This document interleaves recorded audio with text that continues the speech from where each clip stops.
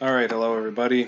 Okay, uh, let me just start by saying uh, this is your final class with me uh, for the year. So it's really anticlimactic. I realize I, that actually just hit me literally as I hit record on this. Um, so I'm sorry that it ends this way.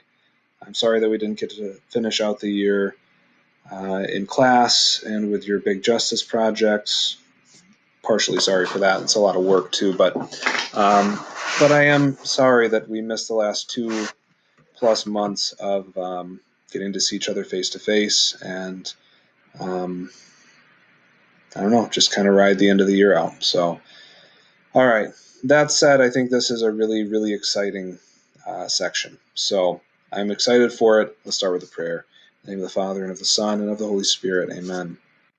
Heavenly Father, I thank you personally for the chance to teach this junior class all year and uh, for the blessing that they have been to me, and I hope that this has been a fruitful year for them as well. So please take everything that I have tried to teach and uh, use that for their own good, their own spiritual benefit, and guide them as they head into summer and into their senior years, and use this hopefully as a launching pad that's going to affect the rest of their lives. So be at work in them, Pour out your Spirit upon all of us. Help us to grow nearer to you through prayer and study. We ask this all through Christ our Lord. Amen. In the name of the Father, and of the Son, and of the Holy Spirit. Amen. Okay, chapter 6, right? This is a relatively short section, overarching theme, development, technology, but it's a big one. It's fantastic. All right, start with this quote Our freedom is profoundly shaped by our being and by its limits. No one shapes his own conscience arbitrarily, but we all build our own I on the basis of a self which is given to us. I'll explain this. Not only are other persons outside our control, but each one of us is outside his or her own control. A person's development is compromised if he claims to be solely responsible for produ- producing what he becomes. By analogy, the development of peoples goes awry if humanity thinks it can recreate itself through the wonders of technology. Okay, this is so rich. There's so much in here. No one shapes his own conscience arbitrarily. Your conscience is that inner voice, you know, telling you, yes, this is good, no, this is bad, do this, don't do that, right? The aboriginal vicar of Christ, the messenger of Christ that's kind of written into our own human natures. Uh, we don't shape that ourselves, okay, but we build our I, our uh, personalities, our individual um, personal development that happens, it's all built on a self that we receive. Remember that whole section earlier in the document, he talks about gratuitousness, the giftness of our own being. We receive our own being. I don't determine my genetic makeup, my my parents, my uh, underlying health conditions, my culture. Right? I'm not. I didn't choose to be an American. Uh, I didn't choose to be a man. I didn't choose any of those things. Those are all determined for me ahead of time. I had to receive that self. And then my personality and who I am, my identity, then develops in part due to my own choices, but in, in maybe even larger part than that, due to factors that I have no control over. Okay. Like my parents, my, my environment, my culture, uh, my safety, my health. Okay, all of those things contribute to the development of who I am as a person. Okay, so that's why it says not only are other persons outside our control, I can't control what you do, but each one of us, I'm outside of my own control in a sense because I received who I am to a large degree, and I can only choose and determine my identity and who I am so much. Okay, so a person's development is compromised if he claims to be responsible by himself of producing what he becomes. He's just living in a, a lie, just deceiving himself. Um, and he says, by analogy, then, the development of peoples, entire peoples, uh, that doesn't work if we think that we can recreate ourselves through technology. All right, so that lays the, uh, I guess that's the stage, you could say. So he starts by talking about what is human freedom? I think you talked about this a bit last year. I tried to talk about this, I think, at the beginning of the semester. Freedom, all right, the development of the individual is shaped in part, excuse me, by our free and responsible choices, okay? So our choices make us more or less human depending on whether they're good or evil. right? We talked about this with the natural law. So the natural law should be running through your head a little bit here. Uh, we become more or less human depending on whether our choices are good or evil, right? The good refers to things that are objectively fulfilling for us as human persons. Okay, so life, uh, reproduction contributes contributes to that. Seeking God, um, all those fundamental human goods. Okay, friendship, all those things. They actually fulfill our human nature. That's why they're good. So, our freedom then is limited by our nature. It's shaped by what we are, the type of being that we are. Okay. So human freedom, it's a freedom to pursue the good. Okay. To become what we're meant to be. But what is good for us is already determined for us by our nature. Okay. We don't decide what's good and what's evil. I can't just decide, you know what, suddenly I think that cutting off my arm is a good thing. Cut, cutting off my arm is, is now good for me as a human person.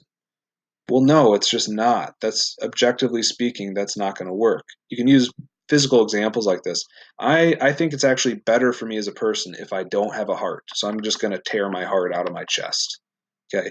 Sorry, no matter what you do, that's not going to help you as a person. That's just going to kill you. Spiritually, there are things uh, like that as well, right? We talk about the category of mortal sin, just freely choosing to do something that is gravely wrong. It's contrary to human nature, okay? Like murdering somebody is never going to be good for me, let alone the person I'm killing, okay? So we can't just determine what's good or evil because we're not our own creators, okay? So he says an individual who thinks he's his own creator actually impedes his own development. And he uses this term Promethean presumption. Now, you Latin people are going to know who Prometheus is, all right?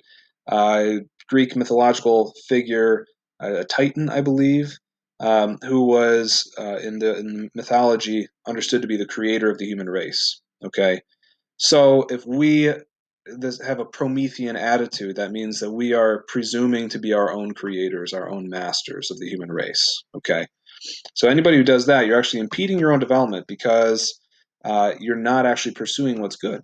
Okay, you're you're out of touch with reality.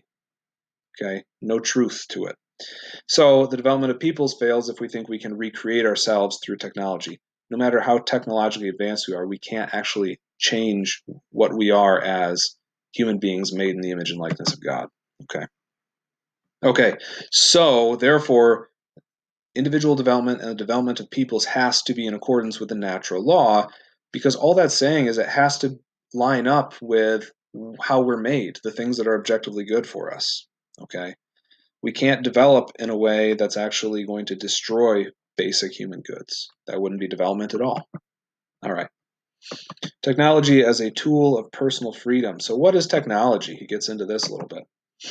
Well, technology is an expression of human freedom and autonomy. Autonomy, independence, right? Self um, governance, which allows us to exercise dominion over matter, reduce risk, save labor, improve quality of life, all those things, right? But it's an expression of human freedom and autonomy. Uh, he says it reveals humanity's drive towards development, and it's a response to God's command to till and keep the land, right? We've been given this responsible stewardship over the world, over creation. Technology is an expression of that, okay? We develop technology so we can better exercise dominion over creation. At least that's what it should be used for. Says technology is the objective element of human action. So remember the objective and subjective elements or aspects of human work. The objective aspect is what the work produces, but also the tools that go into making it. That's technology. But the, the objective element exists for the sake of the subjective element, which is the person who's actually doing it.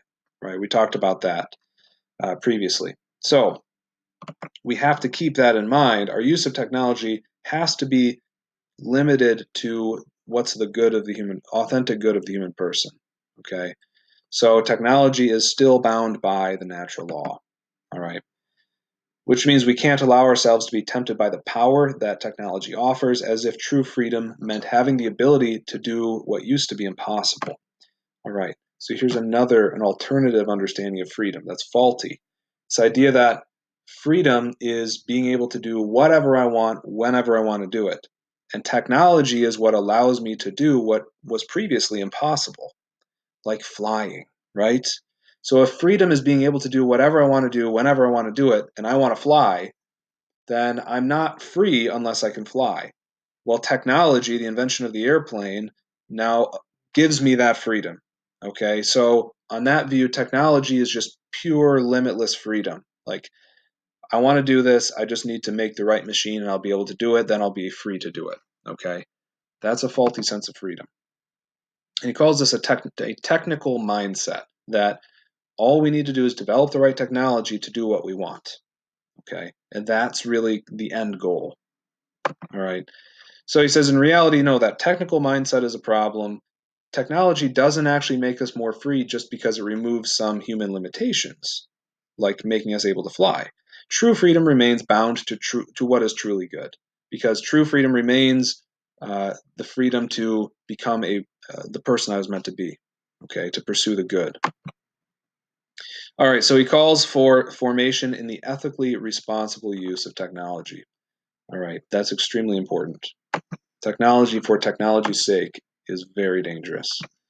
So he gets into various dangers of a technical mindset. I'll try not to dwell too much on this, because we can't think of development as simply a matter of uh, financial engineering, like we just need to develop the right economic realities here, the right economic financial institutions and uh, technology and things like that. Okay, Improving economic production and stability are important, but by themselves, they are really just a means to an end. Okay?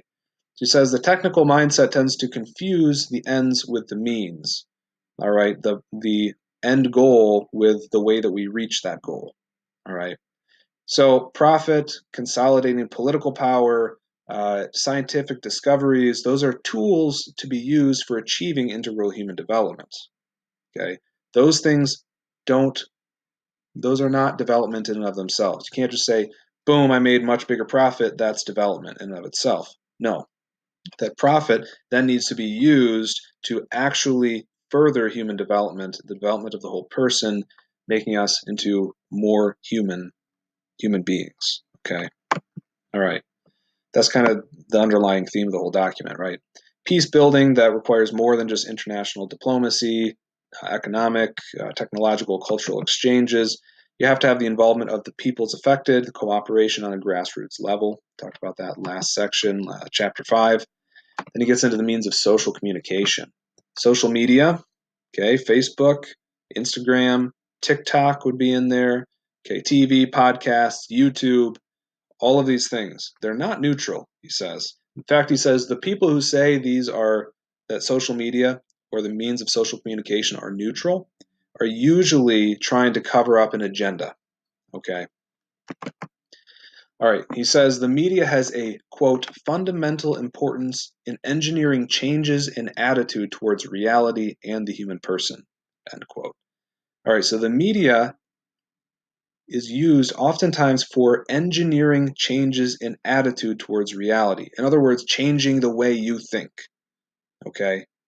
So, media does that. Now, think about Facebook and the censorship that happens there. YouTube censors certain things. So, um, if there are views that are expressed in a video or an advertisement that are contrary to what Facebook or YouTube thinks is good and appropriate, they will censor that. They will exclude that. Okay. Um, likewise, the way that information is presented to you Okay, is there a positive spin or a negative spin? Okay, how is it presented? That is all designed to shape the way that you think about the realities that they're talking about. Okay, what's an example? Well, political, like political ads are kind of an extreme example of this. Okay, but there's a lot more subtle stuff in the way a news article is written, perhaps. The language that they use can affect the way that you think about the events that they're reporting. Was this a good event? Was this a bad event? Okay. So you've got to be very careful about bias. All right. Okay, so he says we need to use the means of social communication very carefully by ensuring that they're directed toward a vision of the human person and the common good that reflects universal values. All right. Um, okay, think about movies and TV shows. As you're watching stuff, be like, well, like what are the signals that this uh, show or movie or whatever form of media is communicating to me. All right, you just got to be mindful of that. Sorry for the rant there, but I thought that jumped out at me when I watched the show, and I, I just wanted to share that as a, an example of that. Okay.